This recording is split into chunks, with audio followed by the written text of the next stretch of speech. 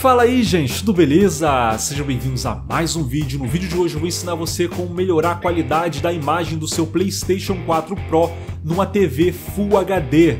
Essa configuração também vai melhorar muito a qualidade da imagem do seu PlayStation 4 Pro em um monitor Full HD ou em um monitor com a resolução 1440p. Então vamos para o passo a passo desse tutorial, pessoal.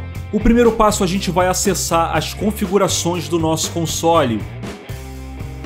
Dentro de configurações, a gente vai até som e tela. Dentro da guia som e tela, a gente vai até configurações de saída de vídeo. E vamos até a guia modo super sampling.